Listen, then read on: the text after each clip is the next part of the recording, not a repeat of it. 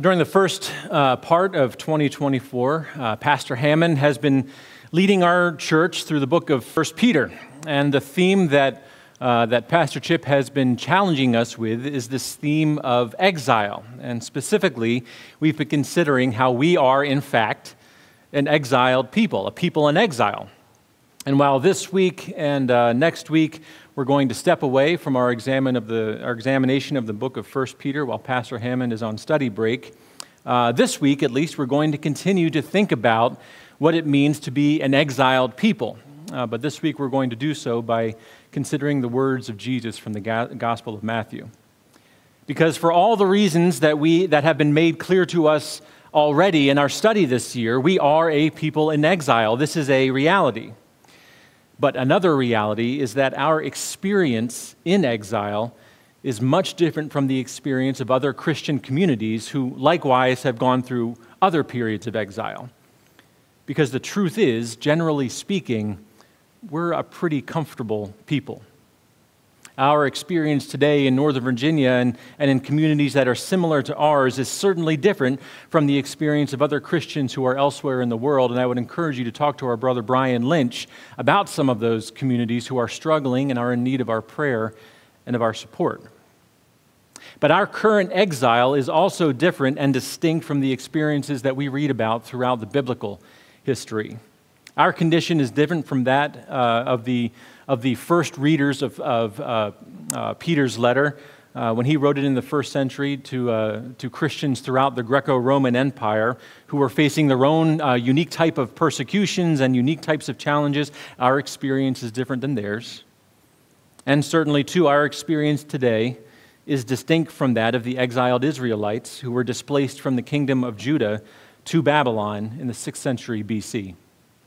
About 20 years ago, I had the opportunity to visit uh, the site of the ancient ruins of Babylon, and it was a fascinating experience.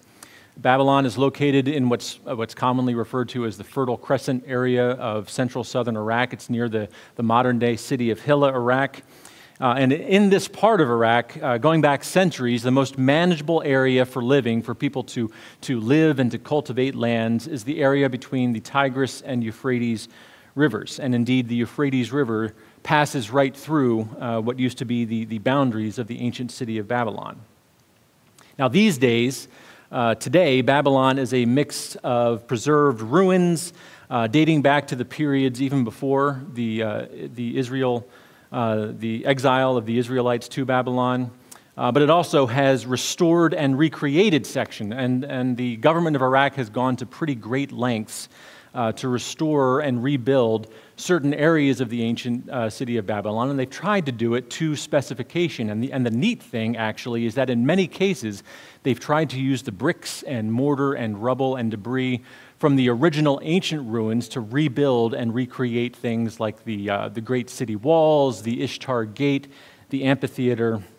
And so it was fun and it was fascinating uh, to walk around the ruins and imagine what the great city of Babylon would have been like in its heyday. It was fun to imagine the bustling Mesopotamian metropolis filled with people and possibly even homed, home to those famed hanging gardens of Babylon. But like so many other city states of the time, life for those at the top of the food chain was, was pretty good. But for those at the bottom, which would have included the exiled Israelites, life was much, much more difficult.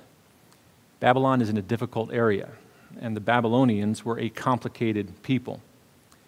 Life as an exile in Babylon was not easy, and while things may have evolved for the exiled Israelites from the first generation exiles to the second and then to the third, things may have evolved over time, but it's safe to say that their experience as an exiled people is different from ours today.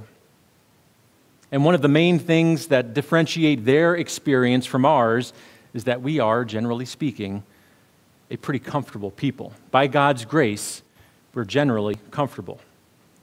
Now, comfort in and of itself is not necessarily a bad thing, but unchecked comfort over long periods of time almost always results in self entitlement and spiritual laziness. Why? Because it's hard to focus on the things that you need when you have everything that you want. And, friends, that is what has happened in many American evangelical circles even today. What began in American evangelicalism as an attitude of gratitude for God who, has, who had obtained for them freedom and comfort over time became an attitude of deservedness. Then that attitude of deservedness became an attitude of entitlement, in that the church began to believe that, that she was entitled to the comforts and freedoms that American society provided. And then to complete the transition from gratitude to self importance, the American church paved way for the prosperity gospel movement, which preached that comfort was no longer a gift from God, but a gift from the church herself. Prosperity gospel preachers claim that God has gifted them with the unique power and authority to bestow blessings, and that, that all people uh, in, in the country and around the world have the opportunity to earn God's special blessing of comfort by adhering to the messages proclaimed by unfit and godless preachers. But apart from them, there are other churches that face these types of struggles as well. There are other churches who, in their attempt to remain relatable and relevant, will borrow from the world to try to bridge the gap between holiness and worldliness. So, how did the church get there? How did we get there? What was it that the church did? What was it that we did? And what was it that we forgot that allowed the sin of spiritual laziness and allowed the sin of clinging to comfort to become so pervasive in some of our worship communities? What does it mean to be a follower of Jesus when we are both an exiled people? Yes, this is true, but we're also a comfortable people because this is also true. With that in mind, let's read together from the Gospel of Matthew, chapter 16, starting at verse 21. From that time on, Jesus began to explain to his disciples that he must go to Jerusalem and suffer many things at the hands of the elders, the chief priests, and the teachers of the law, and that he must be killed and on the third day be raised to life. And Peter took him aside and began to rebuke him. Never, Lord, he said, this shall never happen to you. Jesus turned and said to Peter, Get behind me, Satan. You are a stumbling block to me. You do not have in mind the concerns of God, but merely human concerns. Then Jesus said to his disciples, Whoever wants to be my disciple must deny themselves, take up their cross, and follow me. For whoever wants to save their life will lose it, but whoever loses their life for me will find it.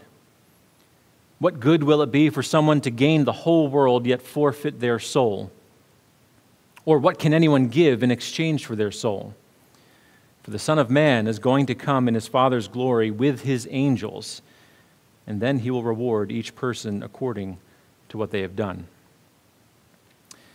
And Father, this morning as we read this familiar passage, we humbly pray for hearing ears and attentive hearts so that we too can be transformed by the truth of your word.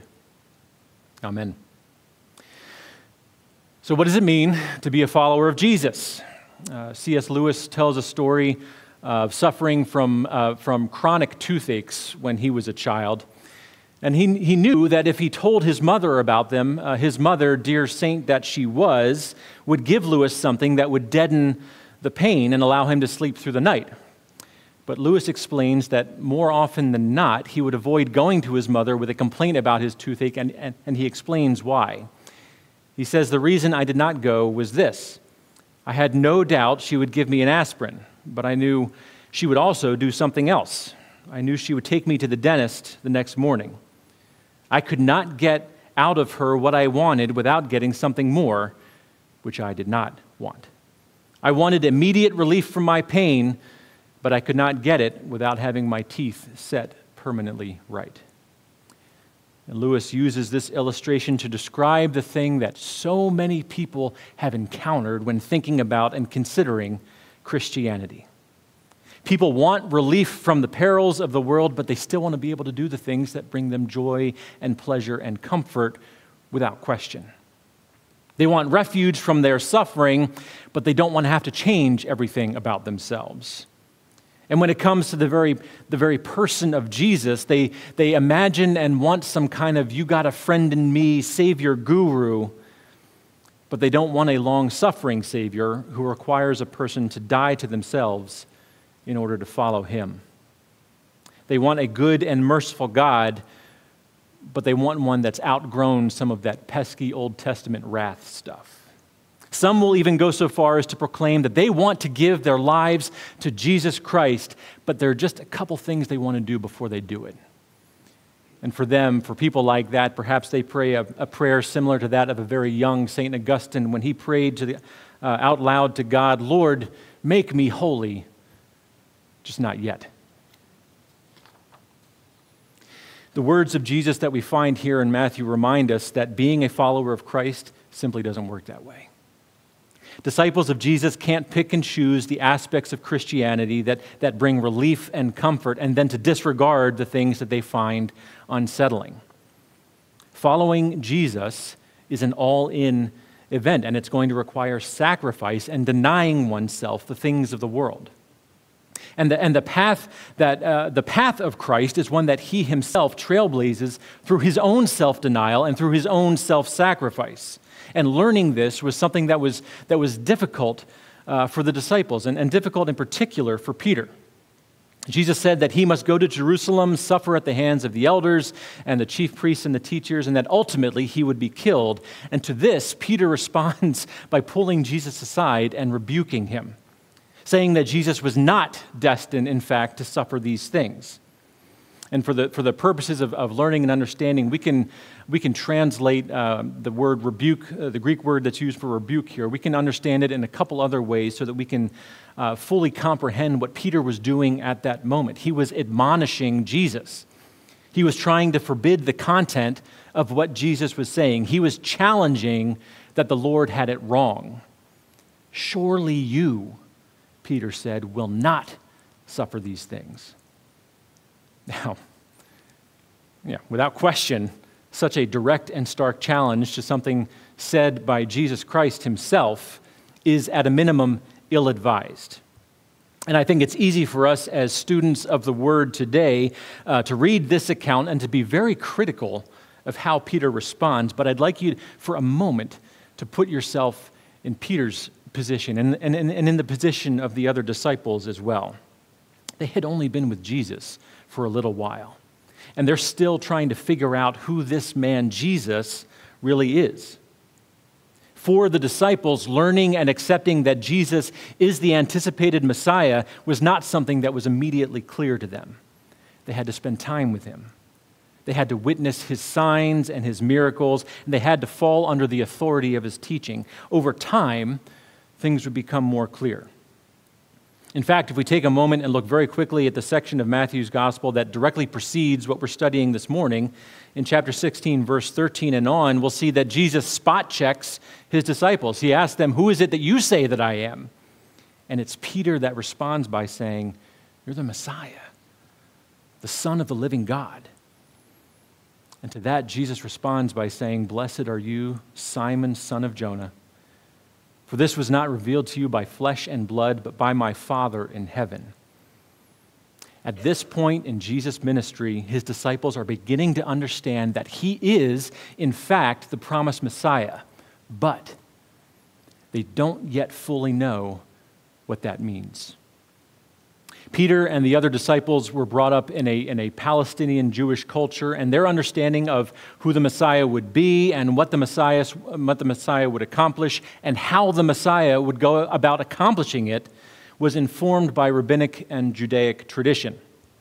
And even the most popular assumptions of how the Messiah would overcome the ruling powers and authorities of the day typically did not include suffering on the part of the Messiah.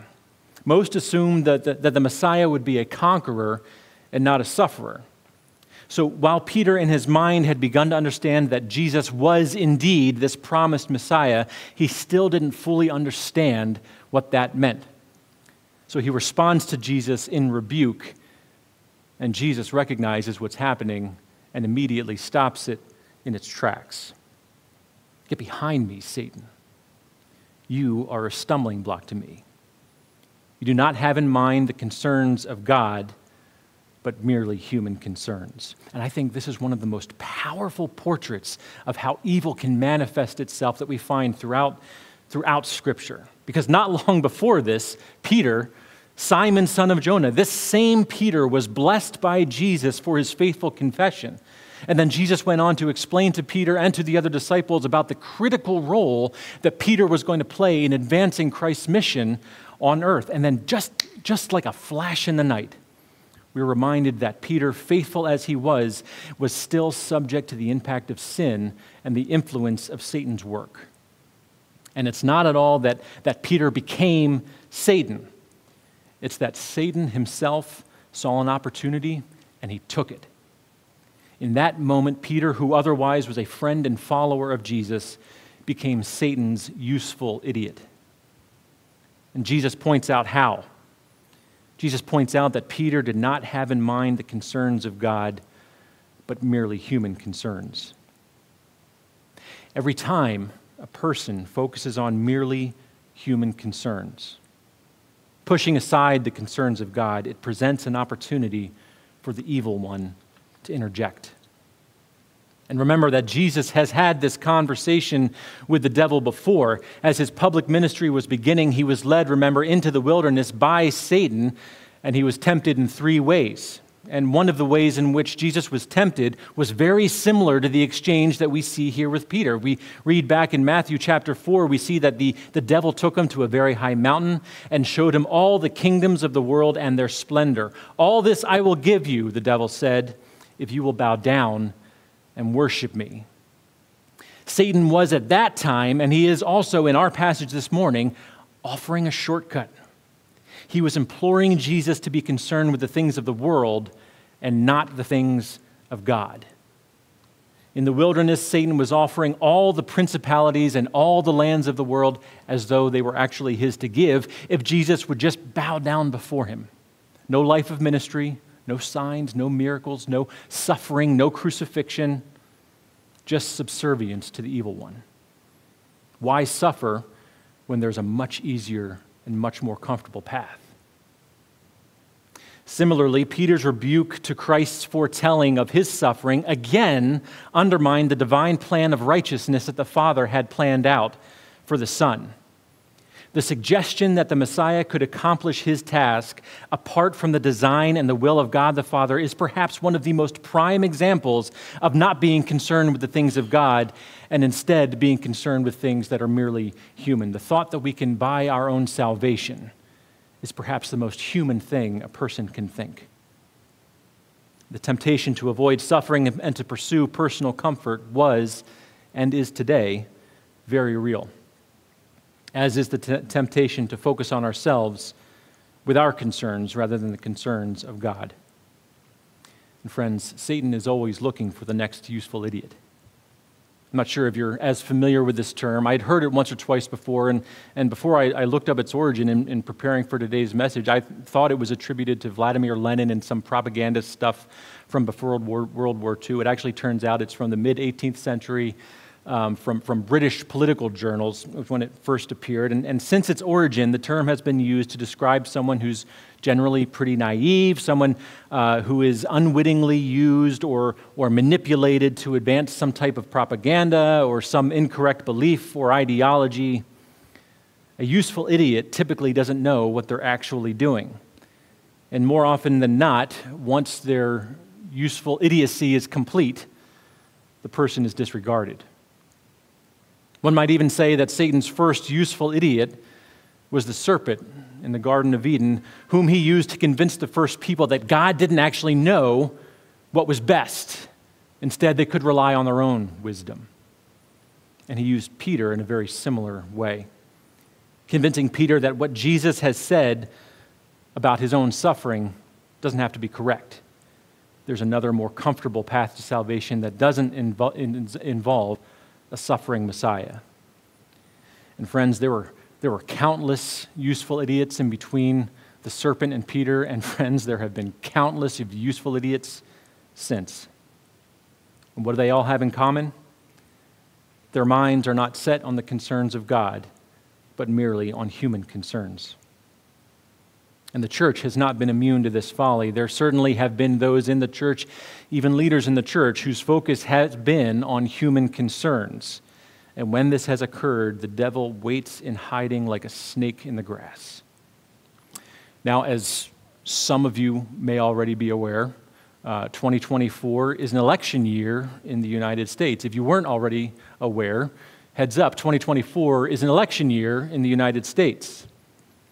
And as this year progresses, we're going to become more and more acutely aware that 2024 is an election year in the United States. There are going to be reports and speeches and debates and a never ending stream of commercials and cable news commentaries. And it's going to become increasingly difficult to parse through all the information and separate the wheat from the chaff. And though it may seem like the two major political parties in the United States are largely at odds with each other, and certainly in many ways they are, there are two ways in which the parties are strikingly similar. First, both parties are going to explain how theirs is the party that is going to make your life more comfortable. And second, both parties are concerned with, exclusively concerned with, human concerns and not with the concerns of God. Indeed, the candidates that Americans will be voting for are being charged with handling human concerns. That, that's the office into which they are going to be elected. They are going to govern over us and establish laws and policies that pursue justice and that encourage human thriving, both at the local and at the national levels. The Apostle Paul reminds us in the 13th chapter to his letter, of his letter to the Romans that everyone, everyone is subject to the governing authorities, for there is no authority except that which God has established. The authorities that exist have been established by God. Consequently, whoever rebels against the authority is rebelling against what God has instituted, and those who do so will bring judgment on themselves. Now, this tells us two things. First, God has ordained that there should be governing structures to handle the human concerns of our daily lives, which means God has ordained it, and so it's good. Second, outcomes of elections, even the outcomes that we find most, most personally unpalatable, are under God's control and are subject to his determinations for his own purposes. So, inasmuch as much as our elected officials are able to make our lives more comfortable, or inasmuch as much as our elected officials are able to reduce the amount of suffering that we see in our nation, uh, then for each of those things we should be thankful to God Himself because He has ordained it and has brought, about it, uh, has brought it about for His own purposes. And so, if the outcome of any given election increases our prosperity, or increases our job satisfaction, or increases our wages and earnings, or makes healthcare more accessible or affordable, if the outcome of any election makes us more comfortable, then praise God for his goodness and mercy toward us. And, and, not but, but and. And if an election turns out in a way that we consider unfavorable, then praise God for his goodness and mercy toward us because he has ordained it and has brought it about for his own purposes. And friends, make no mistake, this election, any election, and any subsequent outcome or, or level of comfort or level of satisfaction, these things have absolutely no bearing on your spiritual condition. These things have absolutely no bearing on what it means to be a follower of Jesus. Jesus said to his disciples, Whoever wants to be my disciple must deny themselves, take up their cross, and follow me. There are no clauses for different political groups, for different ethnicities, for different social classes. In this sense, discipleship is the great equalizer, not democracy. It does not matter if you're rich or poor or Republican or Democrat or independent or, or uneducated or educated. If you want to follow Jesus, you must deny yourself. You have to take up your cross and follow him. But, but, you say, but there are, but there are clear advantages to one party over another. But you say that the other party represents a clear and present danger to me and to my family.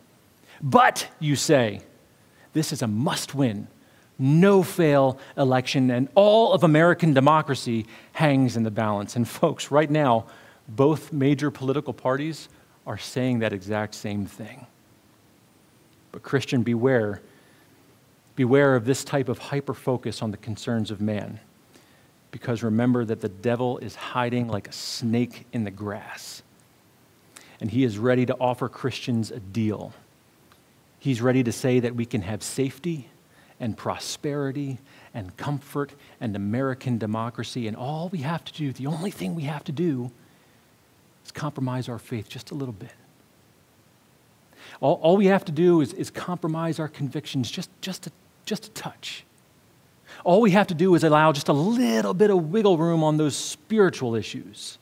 And all we have to do is, is adopt some of the principles of the world. All you have to do, the devil will say, is focus on yourself, your own preferences, and your own well being. He'll try to convince us that, that we don't need to suffer, that there's no need to bear a cross as Jesus did. All we have to do is vote one way or vote the other way. And we'll be able to have everything that we want. And remember, it's hard to think about the things you need when you have everything you could possibly want. But, friends, Satan doesn't care about your vote. He doesn't want your vote. He wants your soul. Jesus asked his disciples, What good will it be for someone to gain the whole world, yet forfeit their soul? Or what can anyone give in exchange for their soul? And these are fair questions. And I wonder if anyone here has given them much thought recently. Is there a price for your soul? Our Heavenly Father would say yes, a very costly price and one that he is very intimately familiar with. Another good question as we roll into the season is what is it, Christian, that we actually want? Do we want to win an election or do we want to follow Jesus? And indeed, there will be some who will say that those two things are not necessarily mutually exclusive. Maybe some will say that it's possible to win an election and follow the path of Christ. And, and why do you need to choose one or the other, they will ask. And there, there will be some churches, even in evangelical circles, that will spend the rest of 2024 trying to reconcile winning an election and following Jesus. They will say that not only are those two things not mutually exclusive, but rather they are quite complementary. And if you happen to come across a church that is doing something like this, I want you to pay close attention to the content of the message that is offered there because without exception, these churches will veer further and further from the truth that's found in the biblical text, and they will rely instead on their own earthly wisdom. Sermons will focus less on the person of Jesus Christ, who he is, what he has done, and what he has promised, and will instead focus more on influencing the political thoughts of the population. And as the church veers further and further from the Word of God, and as the content of the Word gets more and more watered down, inevitably you will see a change in the language that that church uses when interacting with its local community. You will see these churches borrow language from the culture and appropriate the standards of the world in an effort to make that church appear to be more approachable or more relatable or more politically or culturally relevant. Churches will abandon a faithfully exhorted gospel and favor instead kitschy catchphrases. And I, th- I, think you know the kind of catchphrases that I'm talking about. You've heard them before phrases that sound Bible like. Phrases like, God helps those who help themselves, right? God helps those who help themselves. You've heard this phrase before. It was about uh, 15 years ago. I think it was uh, Christianity Today uh, did a study on the most popular Bible verses in American evangelicalism. And it turned out that 35% of American evangelicals noted that God helps those who help themselves was among their most favorite Bible passages. Only problem is, it's not a Bible passage. It's not found anywhere in the biblical text, not even close. But it's short, it's kitschy, it's self helpy, and it echoes of the moralistic therapeutic deism that became so popular in the last part of the 20th century. But this is what happens when the word gets watered down. Another phrase maybe you've heard that again echoes of a, of a pseudo moralism uh, that's also appropriating the standards of the world that the church has used to, to reconfigure folks' thinking. I'm, I'm sure you've heard this one too is modest is hottest. Have you heard this phrase? Modest is hottest? It's a phrase that's often uh, aimed at young people to, to try and encourage them to think very carefully about the ways they comport themselves, the language they use, the way they, the way they dressed. Modest is hottest. Now, some of you might even be thinking right now, well, hang on a sec, I kind of like that one. Modest is hottest simply isn't true. It's a lie. Hottest is hottest. Modest isn't hottest. Hottest is hottest. That's why it's called the hottest. All right, you still with me? Modest isn't hottest. Hottest is hottest because it's the hottest. It is what it is. Modest is godly. Why does the church feel that we need to borrow the language of the world to make the message of the gospel more palatable to those whose hearts we are trying to change? Modest isn't hottest, hottest is hottest, and that doesn't matter. Modest is godly. We don't need to adopt the ways of the world in an attempt to reconcile the commands of Jesus with popular worldly opinion. The, world, uh, the word of the Lord, rather, stands on its own as the single guiding light, the single source of wisdom and instruction that keeps followers of Jesus oriented toward the concerns of God rather than the concerns of man. And while it's always a challenge for churches to remain engaged in the world and to communicate the, with the world and, and to do so without com, uh, compromising the authoritative content of the Word of God, we may find that it will be particularly challenging during this election season. Challenging, but not hopeless. So I'll close with some words from J. Gresham Machen, who writes on this that there is no room in the Christian life for despair. Only, our hopefulness should not be found on the sand. It should be founded solely upon the precious promises of God. All men should return in these trying days with new earnestness to study the Word of God. If the Word of God be heeded, the Christian battle will be fought with both love and with faithfulness. Party passions and personal animosities will be put away. But on the other hand, even angels from heaven will be rejected if they preach a gospel different from that of the blessed gospel of the cross. Every man must decide upon which side he will stand. God grant that we may decide aright. It's almost as if he could have written this stuff two weeks ago. Dear friends, our challenge is great. Uh, not only are we a people in exile, which we are going to learn more about when God willing Pastor Hammond returns, but we face the double challenge of being exiles who are also super comfortable.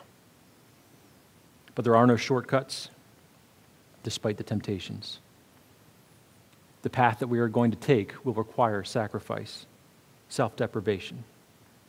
But there is hope for the believer. There is a path that has been trailblazed by the greatest of pathfinders. And there is a promise that at the end of our burden, uh, bearing, at the end of our taking up our crosses, there is a salvation purchased by Christ through the burden that he bore. So, are you ready to take up your cross and follow him? Father, we ask that you would guide us, that you would give us strength, that you would give us clarity of mind, clarity of spirit, that you would give us, particularly this year, particularly as the vitriol and attitudes and anxieties over elections increase, that you would bless us with a peace that passes all understanding. And that when others around us, our brothers and sisters, our coworkers, our friends, and yes, Lord, even our enemies, when they see us, they will see the particular goodness that comes from following your path. We thank you for that which you have accomplished through Jesus, that which we could not accomplish ourselves. It's in his name that we pray. Amen.